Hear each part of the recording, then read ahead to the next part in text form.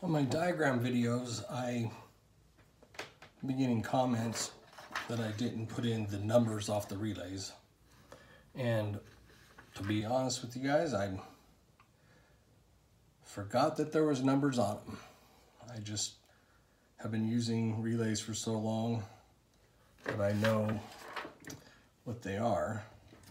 So I thought I'd show you how to determine a relay if you don't know how the diagram works or any of that. This here represents the coil. The reason why I call that a coil, look at it, it's a coil. And what happens with that coil when we energize it,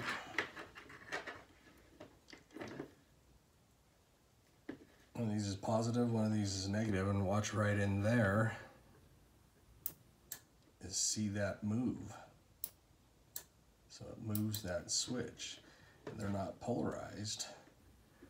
I can move that lead there. Still works.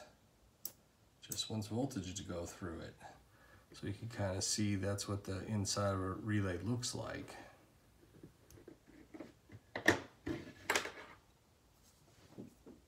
so here's what I do. We got the meter here, our ohm setting, and you can go around and find one that has some resistance, 88.7 ohms. We're measuring across that of the one they have in here. This one's a little different, so it's going to measure uh, 93. So you can go around and you can see this connector here is not connected to anything else but this one. And if I do this one, it's the same way. See, nothing happened with the meter. Okay, so we've eliminated those two. These are the two we know we need to apply power when we want this to change state. And what I mean about changing state is that if we do this, these two are closed right now. And this one and this one's open. So if you've got a relay and they're not in this configuration, you just check all of them. See, that's open, that's open. So you can kind of figure out which your common is. So if we apply power to this one, there's the click, this is our common, and now this one's closed. Okay, and then this one's open.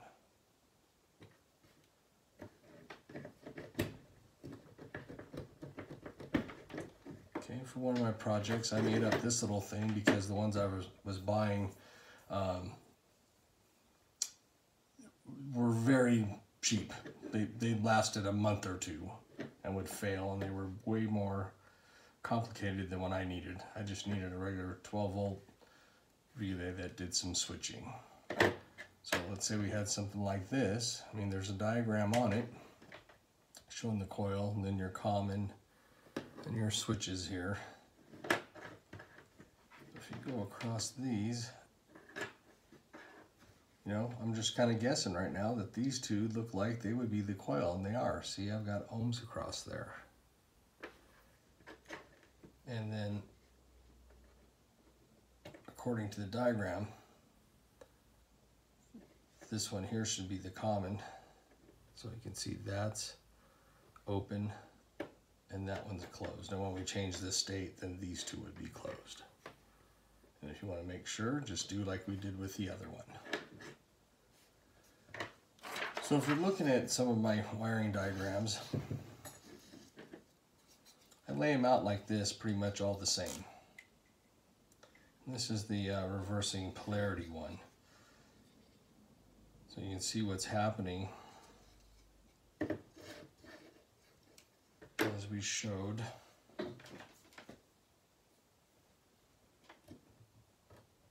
Okay, those are our closed ones. All right, so this common is going to this right now, which is green's representing negative. So this is actually sending negative through here. Okay, not red, I'm just saying red is the wire off of this particular motor. And then if we watch here, this common is tied to this center one also because they're both in the same state de-energized going to the negative. But once we energize one, so let's say we energize this one. Now this will be closed. This is open, so we don't have negative going here anymore. We would have positive going here. Okay, hope this is making sense. Then if we look at these terminals here, 30, this one's upside down, this one would represent 30.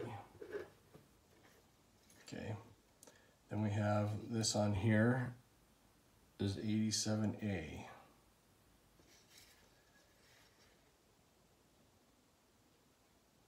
Okay, it's showing 87A is the one that's closed.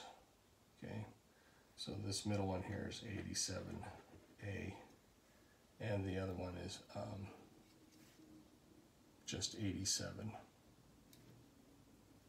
So this one here is 87. Then your coils are 86 and 85. And 85. This one's laid out the same way, just like that. Okay, so in the future, I'll make sure I number those, but you should be able to figure out how to wire up a relay from this video. All right, thanks for watching. We'll see you in the future with uh, some more stuff, I hope. Thanks.